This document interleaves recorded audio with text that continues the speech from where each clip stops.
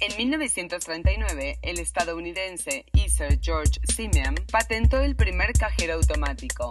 Esta idea le encantó a Citibank of New York, pero como era demasiada tecnología para la época, solo duró seis meses.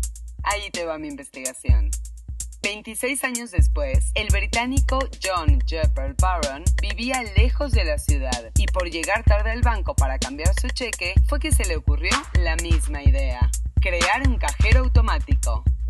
La idea era compleja, así que creó un proceso en el cual el banco debía entregar cheques de 10 libras impregnados con carbono 14. De esa forma, sabrían que es auténtico. Su esposa Caroline agregó la idea de poner una clave de cuatro números, y fue así como nace la idea del PIN, como lo conocemos hoy. Esto por fin comenzó el 27 de junio de 1967, en el Banco Barclays. Un año después, el escocés James Goodfellow mejoró la idea, ya que esta vez sería con tarjetas. En 1971 surgen dos marcas competidoras, una en Estados Unidos y otra en Japón, ya más parecidas a las que conocemos hoy.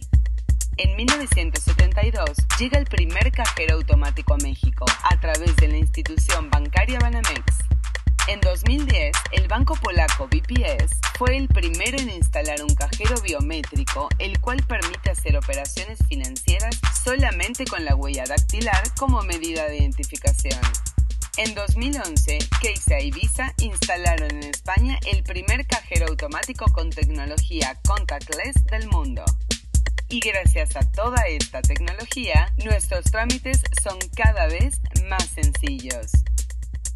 Si te gustó esta breve investigación, te invito a suscribirte a Yo Soy Paula SC, donde encontrarás más temas tanto divertidos como interesantes en YouTube. Hasta la próxima.